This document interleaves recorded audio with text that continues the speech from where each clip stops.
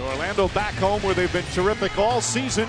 The Celtics have been great on the road. They've won their last four road playoff games. Push the basketball and good things happen. Howard inside. Stuck. Oh, Howard again. Rondo goes right at Carter. Blocked by Howard. We're going to win the game. One basket at a time.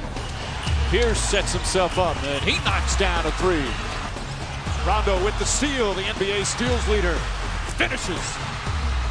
Ray Allen. Count it and one.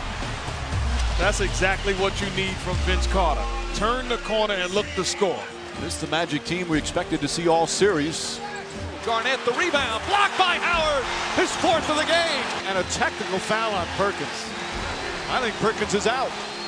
Two technicals means automatic ejection. Uh, they were making shots, and um, it's tough to get a tempo when you don't create misses. Barnes again, lights that corner. Howard drops it in.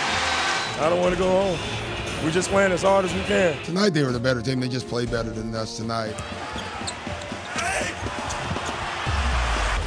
And Davis is down. He's struggling with his balance right now. He is shaken up big time. We're playing more of our game now, getting out in transition, you know, just attacking. Nelson has to throw it up. In the three. Wallace with five personals. Now he's done. Wallace is fouled out of the game. Sheldon Williams is going to make an appearance with all the foul problems and injuries for Boston. Lewis's shot is good. Lewis has come up big in the fourth quarter. Welcome to the Eastern Conference Finals, Mr. Lewis. Stolen by Carter. Nice pass. Throws it down. Largest lead of the game for the Orlando Magic. Dwight Howard and the Magic have fired up these fans here tonight in Orlando. We need to win one game, and let's hope it's the next one.